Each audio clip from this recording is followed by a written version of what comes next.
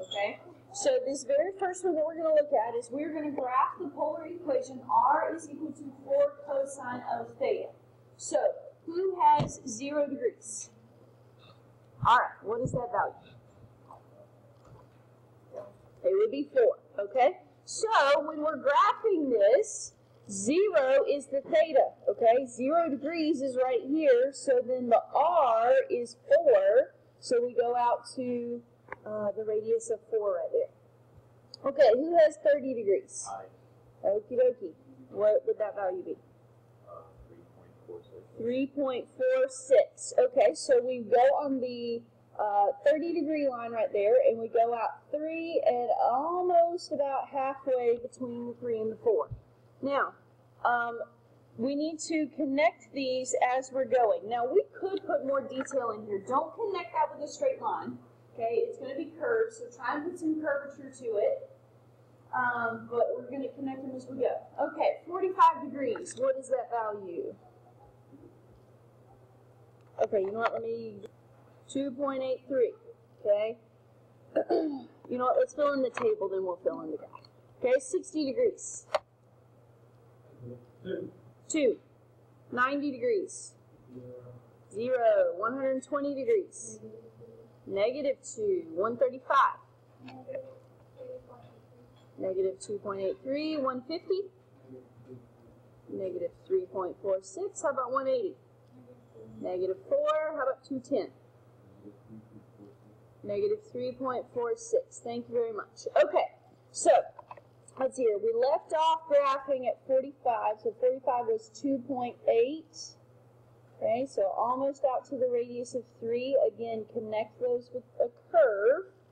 60 degrees was 2. Okay, and 90 degrees gave us 0. So that's a point at the pole. 120 degrees is right here. It had a negative radius. So what does that force us to do? We go through, right? Negative radius, we go through the pole to the other side. And that's where we put the negative two, or that's where we put the radius of 2. 135, the same thing. We had a negative radius, so we go through the pole, and we're almost at a radius of 3. Uh, 150, we go through the pole, and we're between 3 and 4. And 180, we go through the pole because it's negative 4, so we end up on that very first point that we graphed. And then, let's see here, we got one more, 210. It's negative 3.46, so we end up out there on 30, on the exact same point as 30. So that's why the table stopped at 210, because then the values just keep repeating themselves, okay? Um, so a lot of these polar equations, because they're related to trig equations, remember trig equations repeat themselves frequently. Um, so that is the graph of this function. Now we could have done more angles. We could have done 15 degrees. We could have done 75 degrees. We could have done, I don't know, 105. We could have picked a bunch of different random ones. I just picked some uh, nice pretty ones that we're familiar with. Um, now my picture is not necessarily the greatest, but what kind of shape does this maybe look like? A circle. A circle, okay? It is a circle.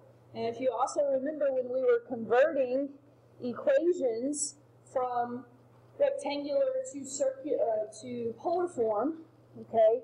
Uh, whenever we ended up with something like this for cosine of theta, or sometimes it was a cosine and a sine, that was a circle. That was the equation of a circle that started out with an x squared and a y squared. Okay? So, um, here is the summary of that. If you flip your paper over, graphs that look like r time or r is equal to a cosine of theta and r is equal to a sine of theta are circles with a diameter of length a. So the one that we just did was 4 cosine of theta, so it had a diameter of 4. It went from the pole to a radius of, or yeah, to out to the radius of 4. Um, so that whole diameter was, was 4. Now notice, if it's cosine, it's going to be on the x-axis, okay, and that makes sense because cosine corresponds with x. If it's sine, then it's going to be on the y-axis because sine corresponds to your y values. Um, we can have cosine and sine together, and those circles aren't going to be centered on the x or the y. They're going to be centered somewhere else in one of the other quadrants, depending on the equation. Will they always have to do it? If, as long as it's just a cosine of theta and a sine of theta, yes, it will always touch the pole. It will always touch the pole or the origin, however you want to look at it. Now, let's compare to our calculators really quickly. Okay, I told you that your calculator does have a polar mode. So when you press mode beside your second button, if you look down at the fourth row, we've never messed with this before. Okay, right now it's in function mode. Function being y equals. If you look at the third option, it says POL, that stands for polar. So when you press enter, and then you go to your y equals, it no longer has y1, y2, y3, so forth and so on. It now has r. So you can type in, uh, our equation was just 4 cosine of theta. Now the theta is where your x is. Has anybody ever wondered why it says x, t, theta, and n? That has to do with the modes, okay? We're in the third mode, so we use as the third variable, the theta. All right, and press enter, and you can graph it. So the reason why my circle doesn't look too circular is because my window is not square. Okay, my window, um, if you look at it, it's wider than it is tall. So the fact that we're going from negative 10 to 10 in both the y's and the x's is what's throwing it off. So you can press zoom, and if you've ever looked, number five is a square feature. So what it does is it makes your x values a little bit wider so that it squares up your window, that the proportions are correct. Now it looks a little bit more like a circle, right? You could zoom in if you wanted to see in a little bit more greater detail, um, but you can tell that it's a circle, okay? So the reality is, on the final exam, if they were to ask you, you know, which one is this graph or whatever, technically you can just plug it into the calculator, but you can save yourself a little bit of time if you do kind of remember these uh, function rules, okay? Let's look at a couple of different examples because circles kind of boring, okay? Um, we've graphed circles before, regardless. Okay. Uh, let's look at the equation 1 minus the cosine of theta. And let's see what we get there. So if you have a chip, all right, what do we get for 0? 0. What about 30? Point one three. 0.13, 45? 0.29, 60? I'm getting there close. Really? Well, I'm 90. He was scrolling on the table. Yeah, I was 90. Oh, ninety-one, one, okay, 120 degrees. 1.5, 135, 1.71, 150, 1.6. What did you say, uh, Giovanni? One point eight six. 1.86, I'm sorry. Uh, Too many numbers. 1.86, Giovanni again? 0.5, okay. Uh, 180, 2 and 210. 1.87. Okay, so let's graph this, see what we get. 0, 0, okay, that's a point at the pole. 30 degrees, 0.13. Uh, that doesn't go too far out from the pole there. Okay. Uh, 45 degrees, 0.29, eh, a little bit further out. Okay, 60 degrees, 0.5. So we're kind of starting to curl around here. 90 degrees is 1. I'm finally going to kind of start to connect these this time. Okay, 120 degrees is 1.5. Get a little bit wider. 135 is 1.7. Uh, 150 is 1 point almost 9. 180 is 2.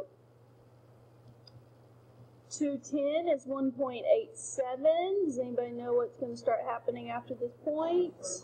It's gonna, well, it's not quite a circle, but it is gonna start re- repeating. It's kind of a spiral here. Okay? Uh, we've got a bit of a spiral. All these values are gonna keep repeating.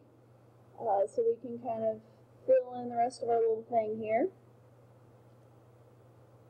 There's some lovely symmetries. Remember that was what I mentioned the first day. Yeah, it's kind of like a little heart. Okay? Way to take a romance right out of. I know. Um, remember on the first day when I introduced polar, uh, I pointed out most of all those graphs were symmetric. Okay, almost all of these graphs are going to be symmetric. Again, because they are built from trig functions, and trig functions are periodic, they're oscillating, they repeat those values over and over again. Okay, so we could have made this table longer. We could have gone to more than 210 degrees, obviously, but I think you kind of started to see the pattern there. Okay, so another type of graph, or actually, let's do one with sine. Yes, sir. Yes, this line of symmetry would be the x-axis. If we folded the top down on the bottom, it would be symmetric about the x-axis. Cosine, yes, cosine is usually always going to be associated with the x-axis. Yes. So it kind of makes sense if we talk. Let's look at one plus two sine of theta. Okay, probably we're going to be centered or related to the y-axis. Now, it's not fair that everybody. Oh, one, 30 degrees. Two. Two. Okay, 45 degrees. Seriously? Are we missing 45 degrees? Does anybody have 45 degrees? I got you. Huh? Oh, good grief. 2.4. 1. 4. Okay. 60 degrees. 2.732. 90. 3. Okay. 120. 2.732. Ooh, there's some symmetry. 135. Up. That's a pretty good guess. 150. Two. 2. One. 180. Zero. 210. Dang. Oh, come on. Don't be just shooting in the dark. Huh? 0.5?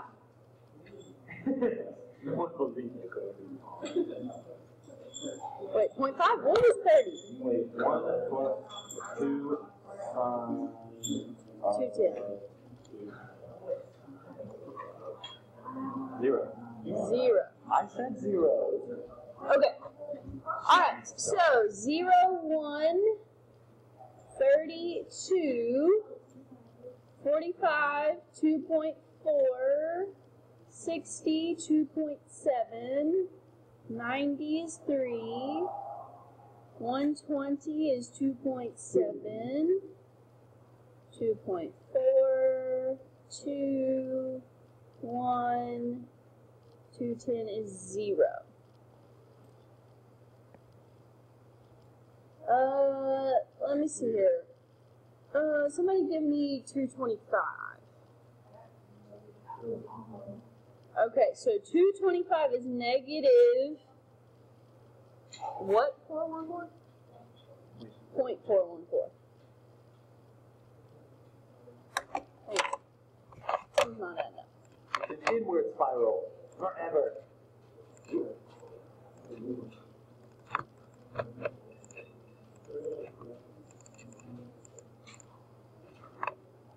Oh yeah, yeah, yeah, it is. It is. I should have. Okay. Yep, I remember now. Okay. Uh, two negative. Want? I forgot what it said. Four. Okay, so two. This is two twenty-five out here, and it had a negative radius, so we got to go through to the other side. Nope, just point four, not one point four. My bad. Point four. Okay. Um, where do we get at Who's got uh,